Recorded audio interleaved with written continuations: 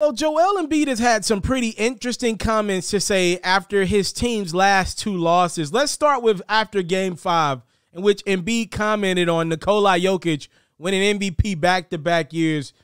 Joel said, I'm not even mad. That's two years in a row. I put myself in that position. It didn't happen. It's almost like at this point, it is whatever. Whatever happens, it happens. I just knew it wasn't going to happen.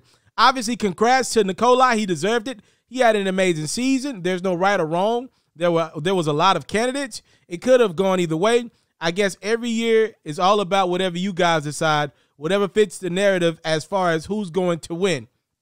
That was after game five.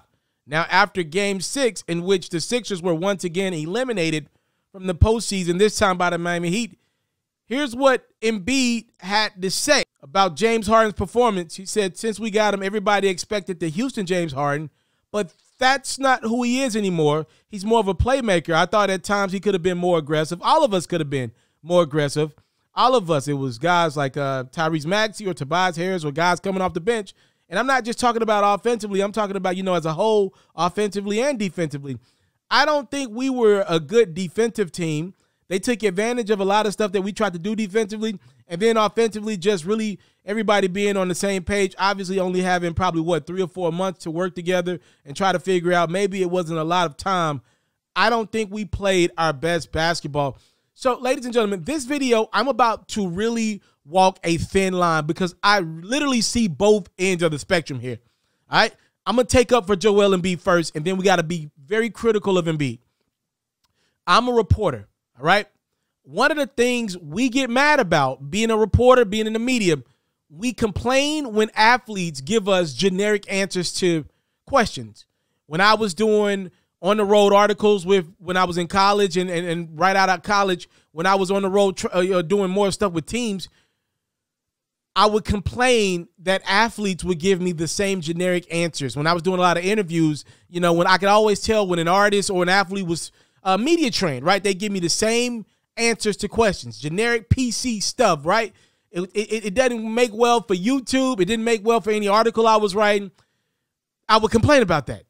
One of the things about Joel Embiid, especially when his season comes to an end, he'll give it up. He'll tell you how he really feels. Last year, he told you how he really felt about Ben Simmons, and now he's telling you how he really feels about James Harden. He's like, for anybody that thought we were getting Houston James Harden, that's not who he is right now. It's honest, but I want to take it to my other side where I get a little critical of James Harden. I'm having a hard time, or of Joel Embiid, about how critical he was of James Harden, rather. I'm having a hard time here with this one. We live in a world where nobody likes criticism. Everybody's too sensitive to criticism. You could be saying the most obvious of stuff.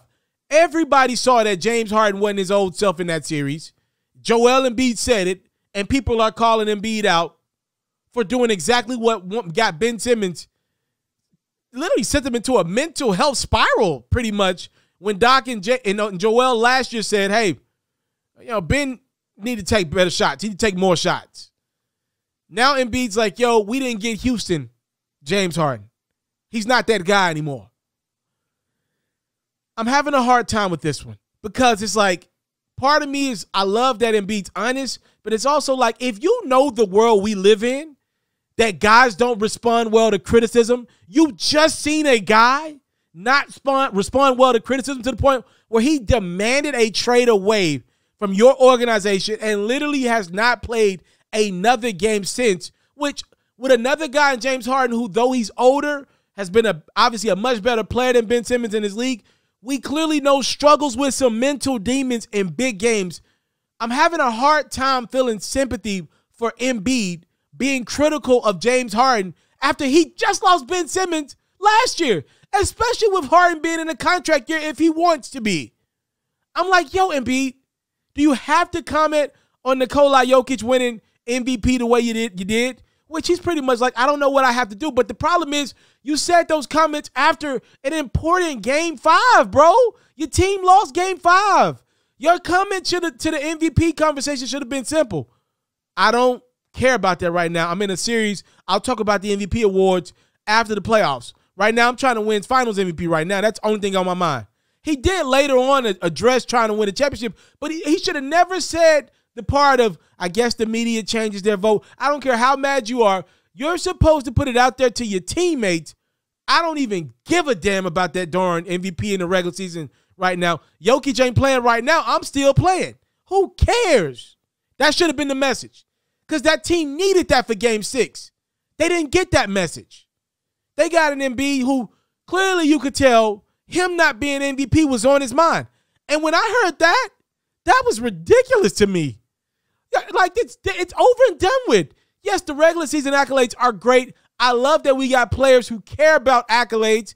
I think that's great. That's healthy. You should care about your stats. You should care about all that stuff.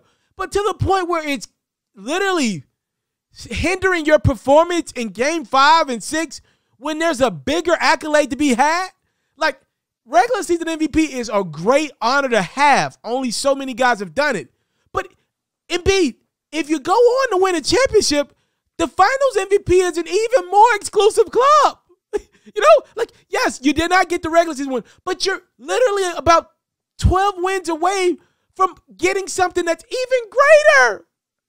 So I, I, cannot believe this man gave that answer to about uh, Jokic winning MVP. And then to give that same an- answer that Ben Simmons like answer about James Harden's performance, it, it's honest, right? It's the truth. But everybody knows it. I don't know if he should have said that coming off the year he had when clearly Ben Simmons never checked back in into that organization. And J- we've seen Harden check out on teams in the past, a la Houston and Brooklyn just three months ago. You think he gonna be happy going into next year? Knowing Embiid's like, yo, this ain't Houston, James Harden. That guy's gone. Hell, James started last year in Houston. Like, damn, that much has changed in a year's time frame? Like, he said that like James ain't played for the Rockets in like eight years. That was just he literally just started season before like like last season 2020 21 he literally started that season in Houston. That was Houston James Harden.